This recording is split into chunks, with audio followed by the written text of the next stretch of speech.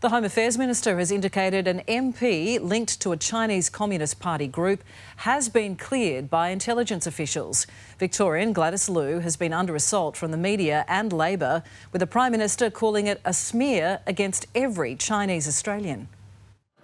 Scott Morrison in the skies over southeast Queensland as smoke from the fires that ripped through the region continue to linger as do questions over a bruising week in politics. Prime Minister, why was it um, racist to question Gladys Liu's connections to China, but it wasn't racist to call uh, Sam Dastyari Shanghai Sam? Mm, I didn't use either of those phrases. Well, there was this once. Senator Dastyari, Shanghai Sam, Mr Speaker. And this one. So we have Shanghai Sam. And just a couple of times on a couple of radio interviews with 2GB's Ben Fordham. Shanghai Sam's got to go. It was Shanghai Sam. Why will Bill Shorten not tell Shanghai Sam to walk? Shanghai Sam has had his last chance.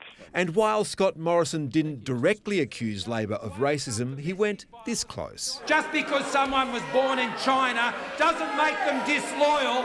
What the member for Isaacs is doing is casting a smear on Chinese Australians, Mr Speaker. That charge has pursued Labor across the Tasman. Labor's only pursuing the matter because Gladys Liu is Chinese. Drawing silent contempt from Penny Wong and a denunciation from her leader. It's rather appalling. Gladys Liu is under fire over membership of a group with Communist Party links, claims of donations not collected, not declared or returned, and allegations an intelligence agency warned against her pre-selection. In an effort to bury the story, today the Home Affairs Minister took the unusual step of indicating that intelligence officials have given the Victorian MP a clean bill of health.